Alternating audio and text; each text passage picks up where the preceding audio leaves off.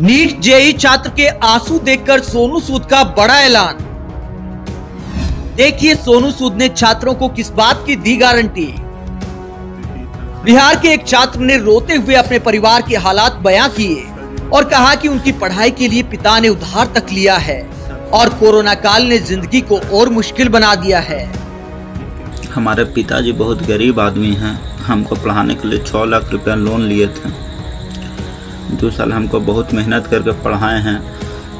हमारा घर में चार महीना से राशन नहीं है उसके लिए पच्चीस हज़ार रुपया लोन लिए हैं। कोरोना काल में हम जैसे तैसे जी रहे हैं जैसे तैसे रह रहे हैं। छात्र ने कहा कि गाड़ी वाला परीक्षा केंद्र तक ले जाने के लिए हज़ारों रुपए की डिमांड कर रहा है। एग्ज़ाम डेट अनाउंस हो गया है और एग्ज़ाम सेंटर हमारे घर से बहुत दूर है। और गाड़ी वाला पच्चीस, तीस हज़ार रुपया मांग रहा है, हमारे पास पैसा नहीं है। हम कहाँ से देंगे? दस हज़ार रुपया का डिमांड करता है।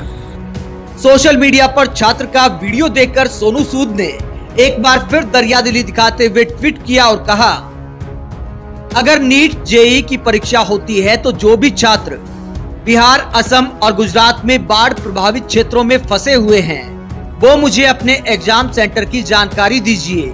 मैं आपके एग्ज़ाम सेंटर तक पहुँचने की व्यवस्था करने की मैं आपके एग्ज़ाम सेंटर तक पहुँचने की व्यवस्था करने की कोशिश करता हूँ। संसाधनों की कमी की वजह से किसी भी छात्र का एग्ज़ाम मिस नहीं होने देना चाहिए।